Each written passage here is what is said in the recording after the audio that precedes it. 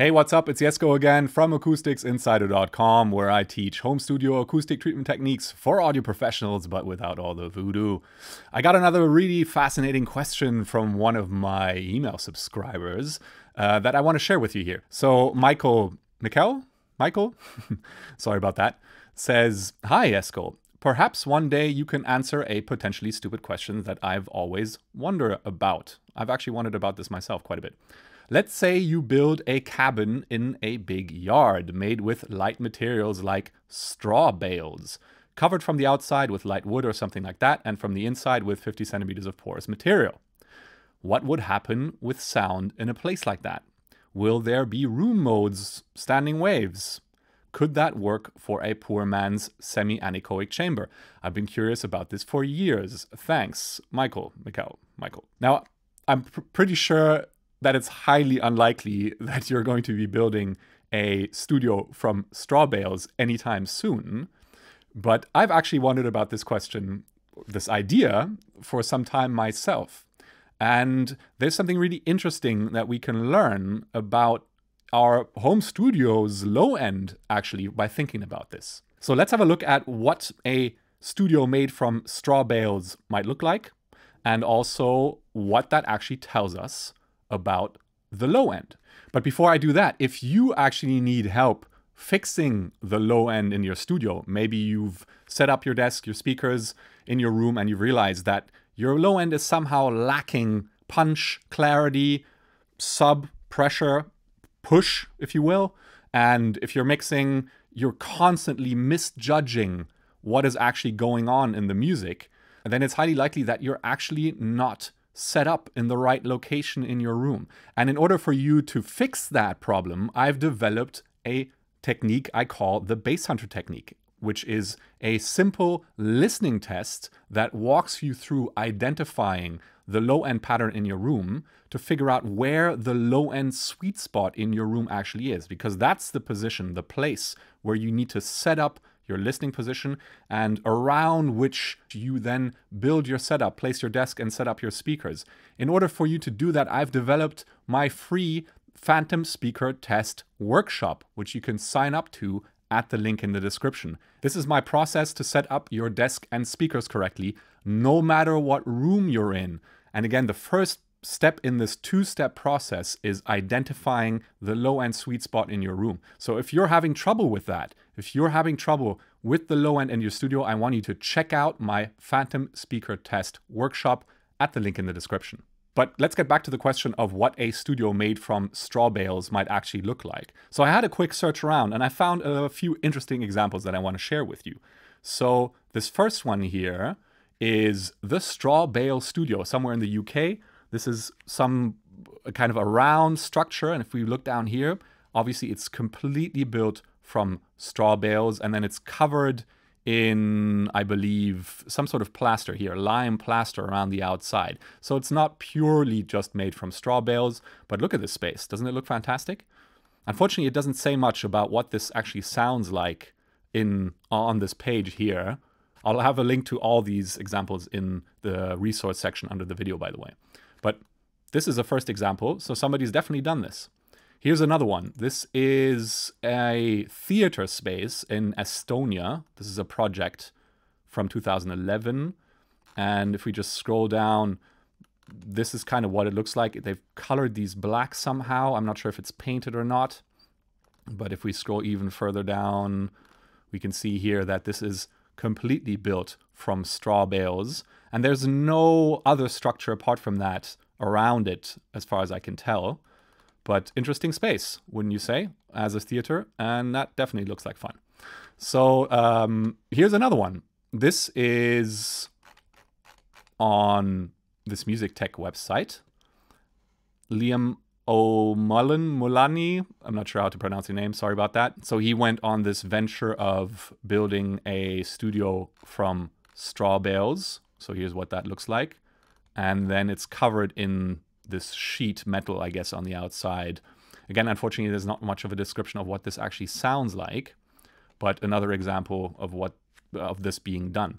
And then my possibly favorite example is this structure here. So this is again kind of a concert hall, I guess. Um, I love the way this looks, right? And how it's lit. And here are a bunch of other kind of impressions of what that looks like on the inside. So again, this is purely made from straw bales. Great little place, I guess. It must be quite fun to uh, listen to a concert in a space like this. But so what do we actually know about the acoustic properties of straw? And I couldn't find too much about it, but there is an interesting research paper here from a few folks at the University of Perugia, I guess. Is that what it's pronounced in Italy? Italians love their acoustics, very, very good acousticians from Italy. And so they went through a bunch of research on uh, uh, straw as an acoustic material, as this paper suggests. And I'm not going to go through this in any detail, but again, I'll link this down below. Basically, what they found through some experimentation is that it, well, it, it doesn't work all that well either for isolation or for absorption. So because it's it's basically it lacks mass, it's not that great at isolating sound. And although it does absorb sound relatively well, it's definitely not as good as a proper porous material that we would use in a studio. Right? So if we think about this for a purpose, for the purpose of building a studio, the main issue here is that it lacks mass. So obviously, like in the original question, you could improve that by adding a layer of some solid structure to the outside for the purpose of isolation, increasing that isolation, and then also adding porous absorption on the inside to increase or improve the absorption characteristics on the inside. But then again, that's kind of defeats the purpose, right? I mean, you're building a huge structure. Why not just use standard porous absorption material in the the kind of the way it's meant to be used uh, for framing a proper room in the first place, right? And then obviously when we think about this as a anechoic chamber, I guess that could work, right? The again the main issue is that or the main characteristic of this material is that it it basically lacks mass, so it lets all the low end pass through. So if you build a structure from this, you're basically letting all the low end escape and the mids and highs would get absorbed to some extent. Yeah. You obviously, if you build this outside, you'd need a roof over it, and that would introduce reflections again, kind of defeating the purpose of uh, of trying to make this an anechoic space. So, kind of riffing on this idea, you might also just place your speakers in a field and just be done with it. I don't know. Uh, again, I'm uh, just riffing on this idea here. I'm definitely not going to try this anytime soon but it's a fun little thought experiment. Here's where it gets interesting though. Again, this the property of this material that is very similar to something that we use in the home studio is the fact that it lets low end energy pass through. And this is quite similar to your standard drywall. So obviously drywall doesn't absorb mids and highs, but because it's relatively thin, it's not particularly heavy, there's not that much mass, it actually lets low end pass through. And so in any kind of space, home studio, that is actually built from mainly drywall, you'll get a similar effect where the low end energy escapes while the mids and highs get reflected.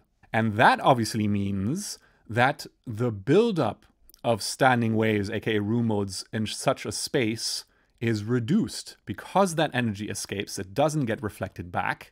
The resonance that happens between walls can't build up as strongly.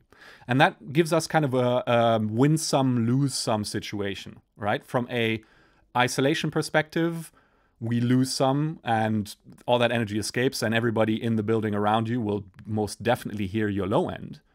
But the fact that standing waves can't build up as strongly does or can to some extent work in your favor. Mainly because in such a small room, the only way to get a properly balanced low end is to place your listening position in the low end sweet spot. Again, quick plug for my Phantom Speaker Test workshop. It's a, that's it's all about finding that low end sweet spot and setting up your speakers, your desk around that spot. Of course, if those standing waves never build up in the first place, that means we actually get some flexibility in terms of where we can place our listening position because the low end sweet spot isn't as clearly defined. And in a small room, that is a massive win in terms of flexibility because it doesn't narrow down our options quite so much in terms of where we want to place our setup. That's just kind of the benefit of working in a room with leaky bass. It just gives us more flexibility in terms of how we use that space. And this is what I want you to keep in mind. If you are working in a home studio where most of the walls, or at least some of the walls, are actually made from drywall, then this is a circumstance that you will be in. So isolation is poor, but what you lose in isolation, you actually win in terms of flexibility of using that space. In itself, this isn't good or bad, but this is just something to be aware of when you're setting up your home studio. All right, I hope that gives you a little insight into what happens in terms of the low end in your studio. I think it's a, a great little fun exercise to think about this in terms of using straw bales, also just what these studios actually might look like. But with that, let's get back to learning to trust our ears and having fun making music in the studio. I'll see you in the next video.